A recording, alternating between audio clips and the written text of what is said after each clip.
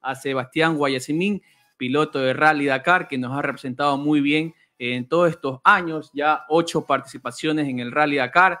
Anteriormente, antes era en, Sudamérica, tanto en Argentina, Chile, Bolivia, Perú, pero hace un par de años, más o menos, ya un par de años, se cambió a Arabia Saudita y Sebastián Guayasimín nos ha estado representando de gran manera en el Rally Dakar. ¿Qué tal, Sebastián? Bienvenido a los micrófonos de Teleradio 350M, aquí al programa Digital Sport. Bienvenido.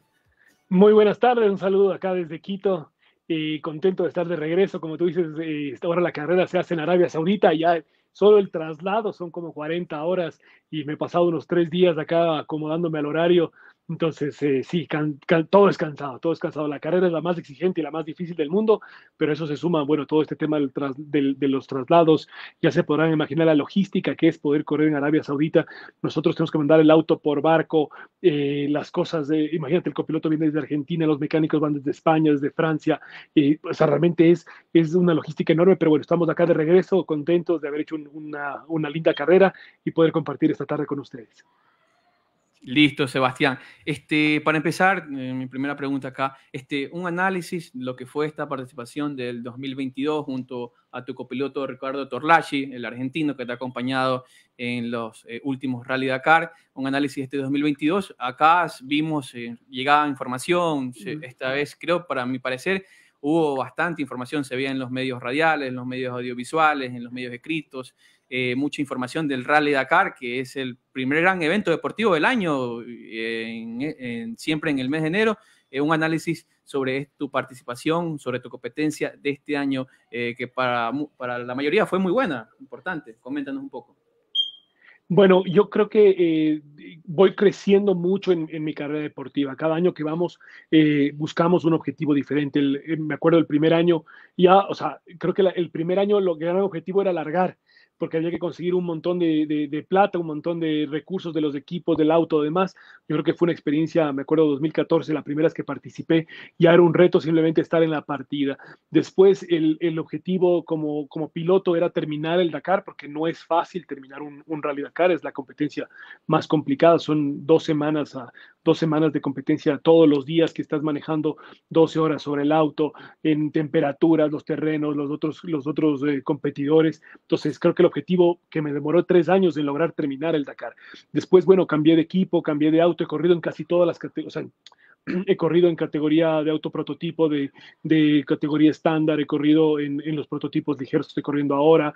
Entonces, he tenido la suerte de poder probar varias categorías y a través de esta experiencia es que creo que nos ubicamos en una categoría que es, eh, que es nueva, que yo siento que es el futuro del, cross country, que son estos prototipos ligeros, porque son vehículos donde competimos en una, en, en una paridad, digamos, con los otros pilotos, donde hay mucho más equilibrio y no es una competencia tanto de, de chequera de billetera de cuánta plata pone la gente, sino eh, es una categoría que tiene eh, un límite de velocidad máximo. O sea, nadie se puede pasar de 135 kilómetros por hora. Si tú te pasas, te multan y pierdes tiempo y te, y te penalizan en, te multan en plata y te multan en, en, en los tiempos. Entonces, al tener un máximo de velocidad, y, y, tenemos unos motores más o menos equilibrados, se vuelve mucho más importante esa pieza que digo del auto que va entre el volante y el asiento, que es el que tiene que salir a relucir.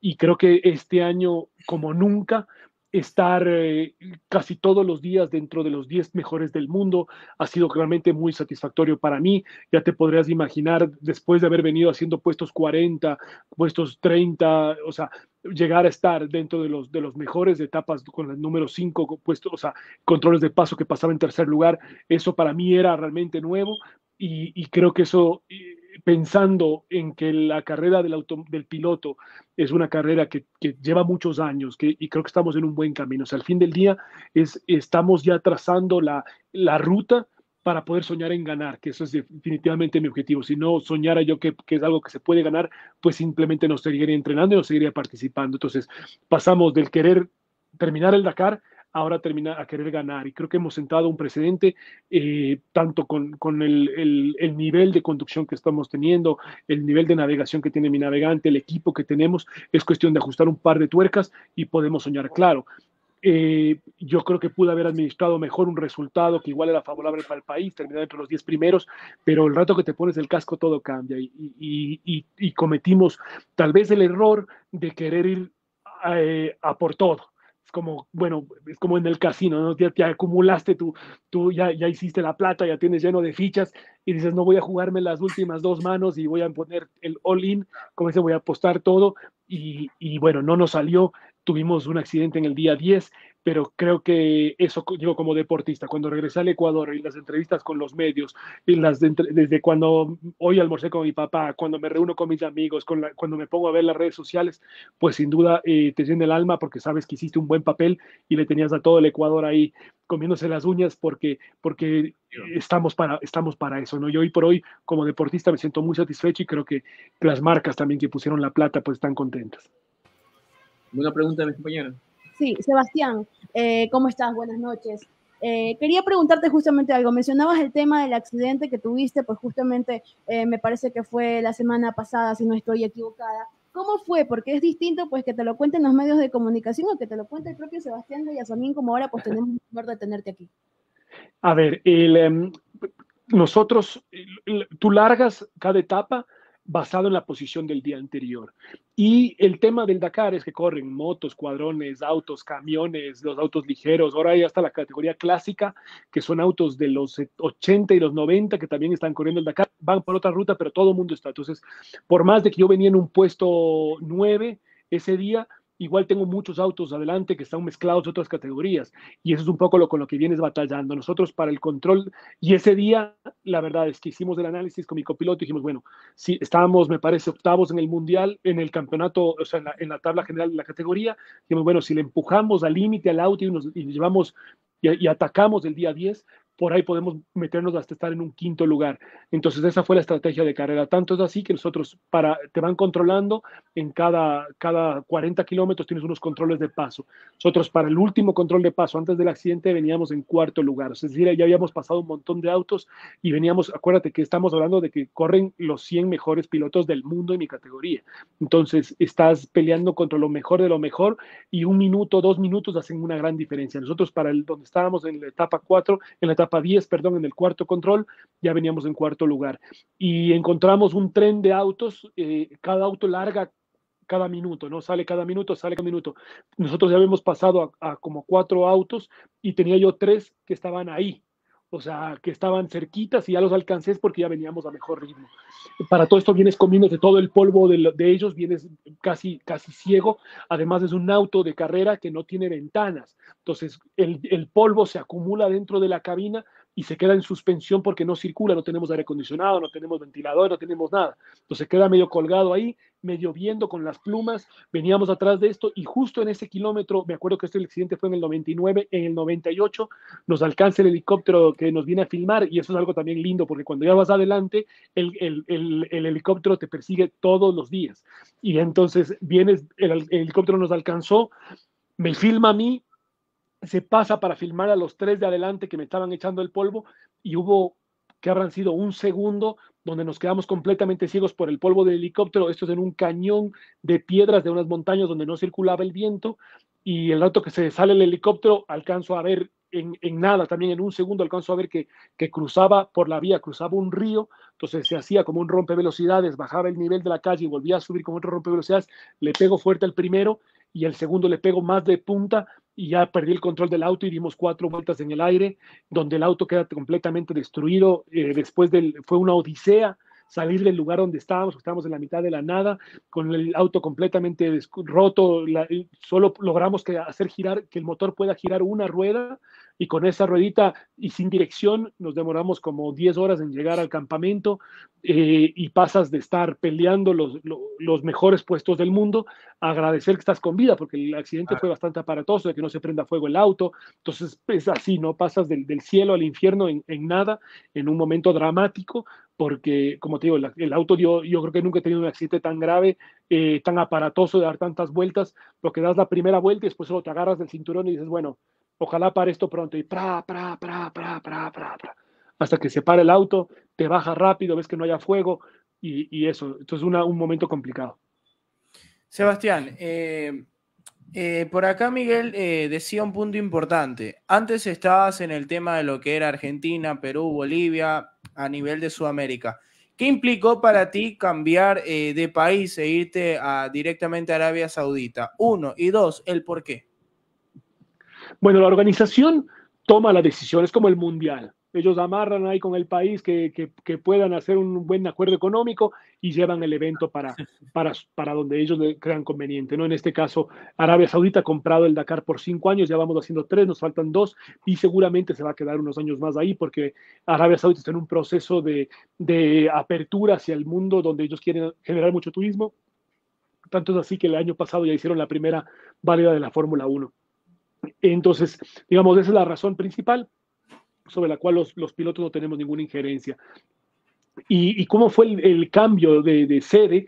Pues eh, tienes varios factores. Por un lado, tienes el idioma, que eso, aunque crea, crea que usted no es importante, pues es muy importante para nosotros ir a poner gasolina en Arabia Saudita, es una odisea.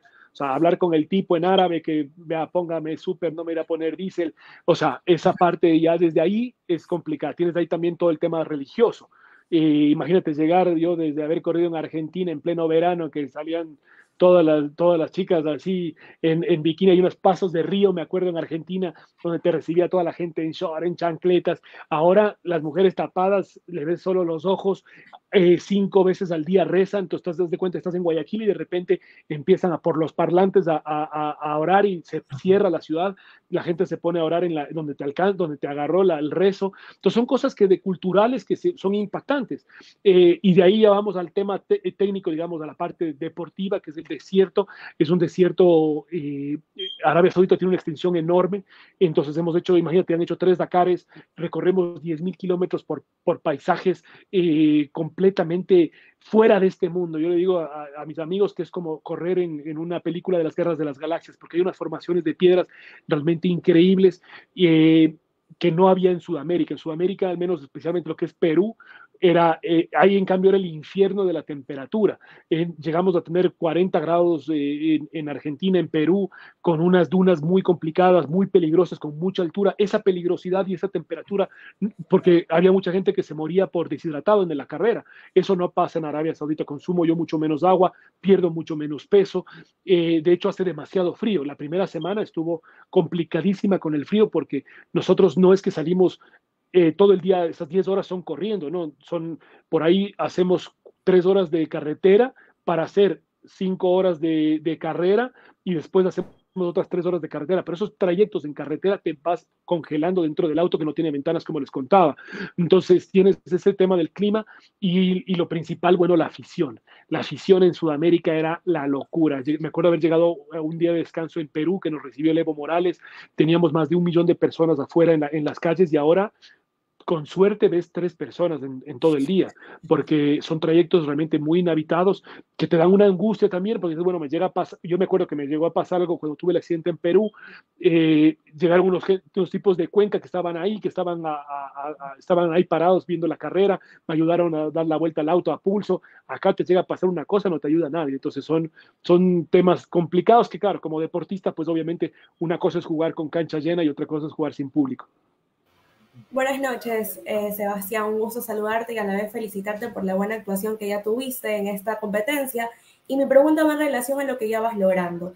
¿Cuál es el siguiente objetivo para Sebastián Guayasamín en relación al Rally Dakar? Bueno, el Rally Dakar lo que nos toca es esperar un año, ¿no? Porque empieza, empieza el primero de enero y tenemos aquí 11 meses para, para entrenar y para prepararnos. Este año quiero hacer algunas carreras. Eh, el año pasado hice Marruecos, que me fue muy bien. Yo quiero repetir Marruecos porque aparte es, un, es muy parecido a lo que es el terreno del Dakar, porque esto ya es el desierto del Sahara. Y, eh, y, me fue muy bien y creo que hay que llegar más entrenado. Como te digo, hay una parte importante que es eh, la adaptación del piloto al auto. O sea, no es, no es menor eh, el, el, proceso de, de, conocer qué es lo que puede hacer, cómo frena, cómo acelera, cómo salta, cómo curva. Y eso lo vemos en el desempeño del Dakar. Yo empecé mi primer día, creo que metí en el puesto 18, después pasé al 12 y, y enseguida estaba en el quinto lugar, porque me tomó ese tiempo para, para adaptarme al, al, auto. Y creo que hay que este año tenemos que hacer muchos entrenamientos y muchas carreras en Europa principalmente para poder llegar yo con mucha más confianza sobre las habilidades que puedo tener sobre el vehículo. A lo mejor ese accidente que tuve, si hubiera hecho ya un Dakar antes, hubiera practicado más, a lo mejor podía controlar mejor el auto el rato que tuvimos del accidente. El auto, me, este es un auto nuevo que me lo entregaron un día antes de largar. Entonces me tomó, eh, me tomó dos etapas un poco conocerlo, pero creo que si hacemos más carreras y entrenamos un poquito más, lo que les quiero decir es que hay que ajustar tres tuercas en el equipo y podemos soñar en estar en el podio y quién, quién no dice ganar el Dakar. Claro, Sebastián. Este, son 6 con 24 minutos. Estamos conversando con Sebastián Guayasamín, piloto de Rally Dakar ecuatoriano.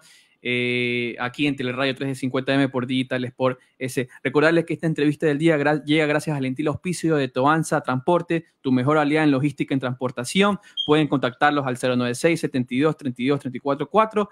Repito, 096 72 32 34 4.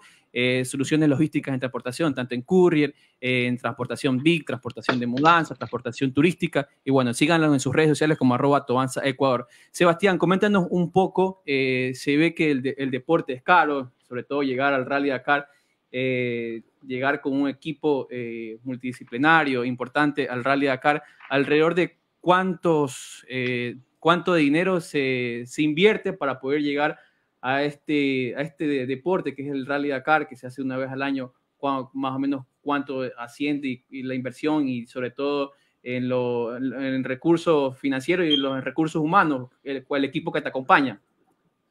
Bueno, ya se podrán imaginar lo, caro que puede ser un Rally Dakar, solo hablando de la logística. El vehículo es un vehículo que se fabrica en los Estados Unidos, pero se manda a Portugal a que se prepare en Portugal, es decir, ahí le ponen las adecuaciones para poder competir. Eh, yo voy de Ecuador con una persona más, aparte en Ecuador durante todo el año tengo todo el equipo completo de preparación. Muchos me dicen, bueno, ¿y usted para qué va al gimnasio si solo es chofer? Y la verdad es que requieres mucho preparación física, mental, en la nutrición, tengo la fisioterapia dos veces a la semana y así todo el año. O sea, para llegar bien. Entonces, imagínate, ustedes vayan sumando ahí un poco lo, que vamos gastando, ¿no? Todo un año de entrenamiento, todo un año un equipo médico, un equipo de, preparación física. El copiloto viene desde Argentina, tenemos mecánicos españoles, mecánicos franceses, tenemos un, eh, un, un un camión gigante con más un montón de camionetas más que van llevando los repuestos que están encargados de la logística. La oficina principal del equipo está en Barcelona, que es donde nos hacen el control de, cómo va la competencia. Eh, ¿Qué más te cuento? Repuestos. Imagínate que destruimos el auto y al día siguiente teníamos un auto nuevo, la plata que nos gastamos en repuestos, todo el transporte, todo esto sale un día desde Francia en un barco que se lleva todo Arabia Saudita, o sea, nosotros del Dakar, para nosotros el Dakar empieza más o menos en el mes de octubre, que es cuando ya embarcamos todo. O sea, desde ahí ya nos toca un mes de espera nada más porque nos encontramos con todas las cosas allá. Las inscripciones, una inscripción para el Rally Dakar eh, puede rondar los 50 mil dólares. Solo el derecho deportivo para poder participar. Y bueno, y así eh, hay un montón de cosas. El Dakar lo puedes hacer de diferentes formas. Hay, hay la categoría de motos, que puede costar un Dakar, eh, creo que unos 100 mil, 120 mil dólares, o puedes ir a por todo en una categoría principal y, los que ganan en autos debe ser una inversión no menor a los 4 o 5 millones de dólares. Entonces, como digo, dentro del Dakar tienes muchos niveles de, inversión. Nosotros eh, el año, este año hemos gastado cerca de medio millón de dólares, 500 eh, mil dólares, que es un poco lo que, que conseguimos en auspicios, que igual a mucha gente le puede pasar un montón de plata, pero como les digo, para ganar un Dakar eh, en, al nivel que estamos, en 15 días de carrera, el automovilismo se mide por, por, por hora de, de, carrera, o sea, realmente es, no es un precio tan alto para lo que estamos haciendo eh, y, y, más que nada agradecer a las marcas que son las que finalmente financian esto, porque uno es el chofer nomás. ¿Alguna consulta, compañeros, por ahí? Sebastián. No sé si nos eh, cortamos ahí. ¿Hasta dónde se me quedaron? No, no, no, está bien, está bien. no, sino la, última, la última de mi parte. Sebastián, en el momento de, que terminaste la carrera, ahora sí, eh, el tema de tu familia, ¿cuáles fueron eh, esos mensajes después de haber terminado tu gran participación en Arabia Saudita? Bueno, de mi familia, el primer mensaje que mando con, yo tengo un teléfono satelital, entonces apenas tuve el accidente, el primer mensaje es a, a, mi, a mi esposo, obviamente, mi amor, eh, tuvimos un accidente, pero estamos todo bien. Por ahí conseguí un tipo que pasaba, que tenía un teléfono que funcionaba, le mandé una foto desde el WhatsApp del tipo este en árabe, no, no sé cómo le convencí, eh, porque es primordial que ellos estén. Yo siempre hablo que, que, el primer auspiciante que uno tiene que tener es la familia. Si, no, si tu familia no está de acuerdo, si tu familia está preocupada, pues son muchas horas de trabajo, muchas horas de carrera, eh, y donde tu mente empieza a pensar cualquier cosa. Entonces, la concentración de, de que tu familia esté contigo, pues es, es un respaldo emocional importantísimo. Entonces, entonces, obviamente me debo mucho a, mí, tengo dos hijas pequeñas, a, a mis papás, a mis suegros, obviamente, eh, que ellos estaban muy preocupados, siempre estaban sufriendo. Eh, porque la carrera saben el peligro que es, sin embargo ya, ya, no, ya no se sientan a ver si es que terminé la carrera, ahora es más bien en qué puesto está y en qué puesto está, y creo que ese fue un poco el, el espíritu que teníamos en casa y que al fin del día también se vivía con la afición. Eh, y nada, pues con, con, pena, agradecidos de que llegué sano y salvo, de que esas horas de gimnasio que, que, le petimos durante el año se pagaron en el accidente porque uno se baja completamente ileso y de hecho al día siguiente ya estábamos otra vez en pista y eso a cualquier persona, un, un accidente tan grave, pues te deja ahí unos tres, cuatro meses de, de, recuperación y eso es justamente la fortaleza que uno tiene. Entonces, creo que ellos sabían que, que a lo que íbamos y, ya, bueno, ya, me aceptan como soy y, saben que, salimos a jugarnos la vida, pero, pero, pero dentro de todo el automovilismo tiene todo ahora unos sistemas de seguridad impresionantes y, y el ejemplo más claro fue, fue cómo salimos del accidente. Sebastián, ah. También pues mi última, la última pregunta de mi parte, eh, me, me, da curiosidad un poco el tema del apoyo de Ecuador antes de, de, tu participación dentro del Rally Dakar, ¿cómo después? ¿Tú crees que aún falta apoyo a este tipo de deportes? Por supuesto, siempre, eh, y es un poco lo que ustedes conversaban al, al inicio cuando leían los titulares, eh, el Ecuador sin duda ha dado muchos más resultados y mucho más eh, glorias al deporte en todo lo que no es fútbol. Sin embargo, el que se lleva la plata y el que se lleva los espacios publicitarios y el que se lleva hasta el que se lleva el logo del programa de ustedes es el fútbol.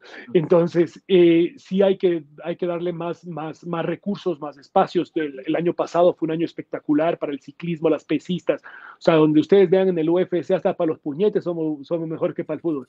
Entonces, eh, son cosas que sí hay que tomar en cuenta y si le invitamos a la empresa a que invierta ahora yo logramos, nosotros, yo logro conseguir la plata para poder ir al Dakar gracias al, al cambio que hubo en la ley eh, que fomenta justamente los deportistas de alto rendimiento. Ahora las empresas que han, que han apostado eh, por mi proyecto tuvieron un descuento importantísimo, el Estado les devuelve una gran parte de su aporte en, en impuestos, entonces como que la empresa hoy tiene la opción de elegir y decir, bueno, o le pongo eh, o, pago impuestos o, o, más bien utilizo esos recursos y le doy a, un deportista que, que, le va a engrandecer al, al desarrollo, o sea, al, deporte en Ecuador. Y ustedes saben que una sociedad que hace deporte pues gasta menos en salud pública, se aleja menos del hospicio, hay menos delincuencia. Entonces el deporte, por donde tú lo veas, es beneficioso para la sociedad.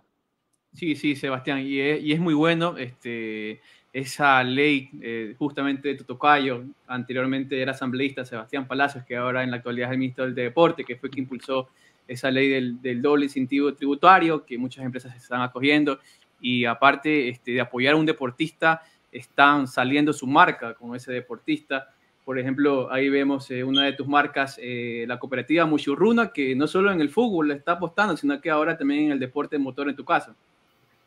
Sí, imagínate la, alegría que tienen. Eh, bueno, primero hay que entender que, la cooperativa de Oro y Crédito Muchubruna es una cooperativa eh, que trabaja mucho en el sector indígena en el centro del país.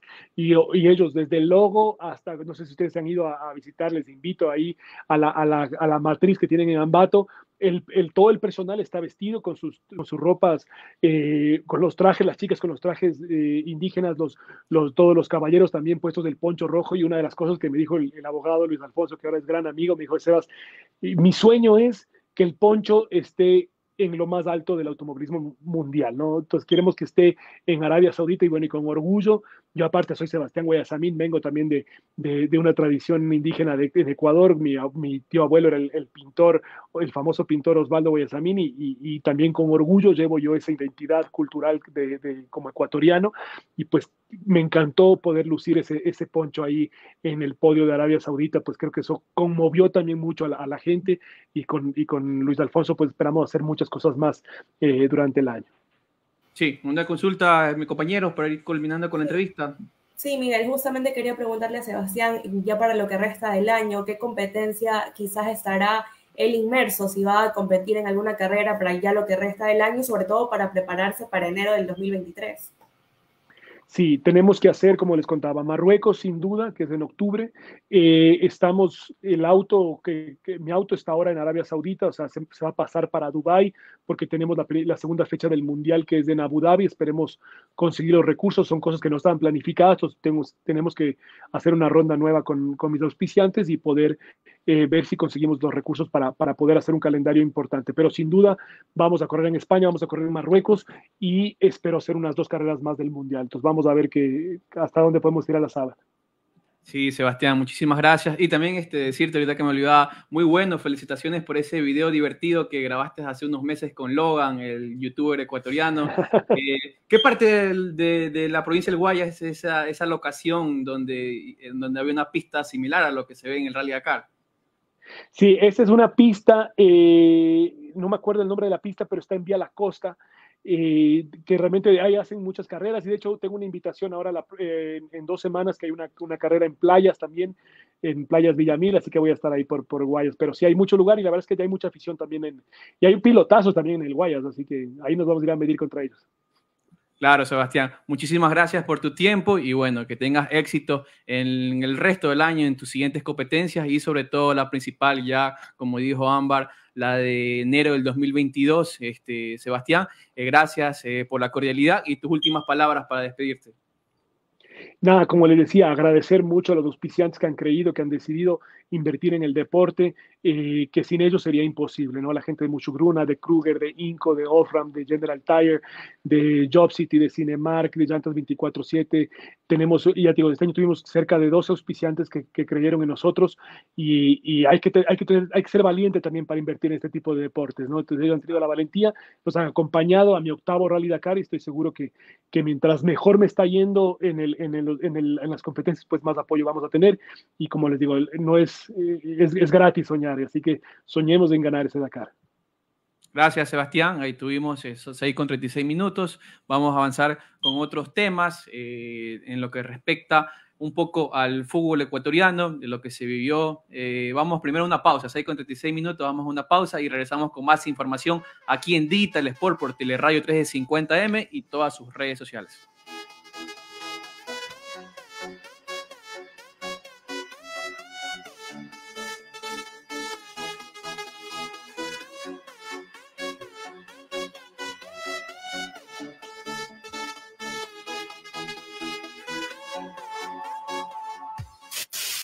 De espacio publicitario. Tenemos una nueva aplicación, aplicación. Tenemos una